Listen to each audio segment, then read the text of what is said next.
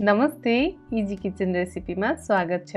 आजको रेसिपीमा म हजुरलाई छिट्टो बनेर तयार हुने अन्डा आलु भुजियाको रेसिपी सेयर गर्न जाँदैछु।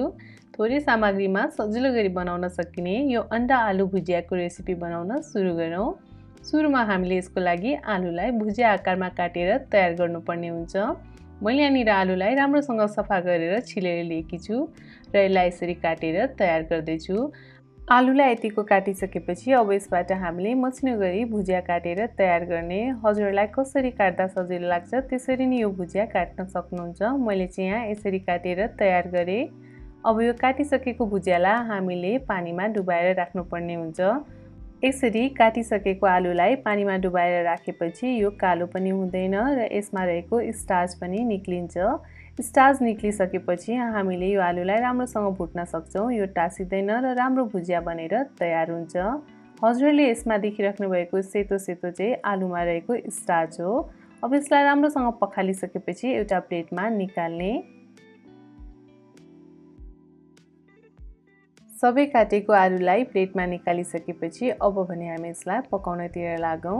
यसको लागि चाहिँ मैले यहाँनिर प्यान तताउन राखिसकेँ। प्यान राम्रोसँग तातिसकेको छ। अब यसमा ठुलो चम्चाको एक चम्चा तेल राख्ने। तेल केही बेर राम्रोसँग तातिसकेपछि यसमा सानो चम्चाको आधी चम्चा जिरा राख्ने। जिरालाई राम्रोसँग फुराइसकेपछि मिडियम साइजको काटेको एउटा प्याज राख्ने। प्याज राखे सँगसँगै मैले यसमा एउटा हरियो खुर्सानीलाई मसिनो गरी काटेर लिएकी छु। यो पनि राख्ने। पिरो हजुरले आफ्नो स्वादअनुसार धेरै या थोरै राख्न सक्नुहुन्छ। यदि बच्चाहरूको लागि बनाउँदै हुनुहुन्छ भने पिरोलाई स्किप गर्न सक्नुहुन्छ। प्याजलाई केवल हल्का भुटिसकेपछि अब भने अघि हामीले काटेर राखेको आलु यसमा राखिदिने। आलु राखिसकेपछि राम्रोसँग चलाइदिने। आगोको हिटलाई मिडियममा राख्ने। आलुलाई केही बेर यतिको चलाइसकेपछि यसमा सानो चम्चाको आधी चम्चा बेसा राखिदिने। अब भने यसलाई हामीले केही बेर यसरी नै चलाएर राम्रोसँग भुट्ने। लगभग दुई मिनट जति यसलाई हामीले राम्रोसँग चलाएर मिडियम आँचमा भुटिसकेपछि अब भने यसलाई हामीले ढाकेर दुई मिनट जति पकाउनको लागि राख्ने।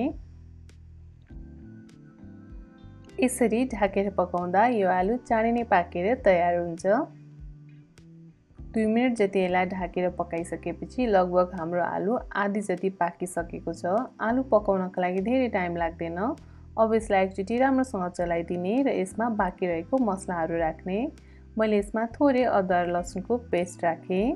यो सँगसँगै यसमा मैले सानो चम्चाको आधी चम्चा जिराको धुलो राखेँ। त्यसै गरी सानो चम्चाको एक चम्चा रातो धुलो खुर्सानी राखेँ। सानो चम्चाको आधी चम्चा धनियाँको धुलो पनि राखेँ। यो सबै मसला राखिसकेपछि यसलाई अब राम्रोसँग चलाएर भुट्ने आगोको हिटलाई चाहिँ हामीले मिडियममा नै राख्ने र यो मसलासँगै आलुलाई पनि राम्रोसँग भुट्ने। यसरी मसला हालेर आलुलाई केही बेर राम्रोसँग भुटिसकेपछि अब भने यसमा हामीले अन्डा हाल्नुपर्ने हुन्छ। मैले यहाँनिर तिनवटा अन्डालाई यसरी फुटाएर लिएकी छु। यसमा चाहिँ मैले केही पनि मिसाएकी छुइनँ। अब यो अन्डालाई आलुको माथिबाट यसरी हालिदिने। अन्डा हाल्ने बित्तिकै आलुलाई चलाइहाल्दैनौँ यसलाई एकछिन पाक्न दिने। अन्डा यतिको सेतो भएपछि माथिबाट अब यसलाई अझ स्वादिलो बनाउनको लागि थोरै कालो मरिचको धुलो राख्ने।